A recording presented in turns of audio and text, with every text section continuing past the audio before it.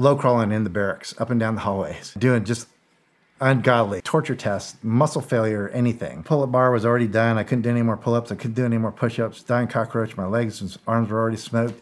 Rangers are walking around me, stepping over me as I'm low crawling in the hallways because they know the deal. Have you ever heard the term koalifying?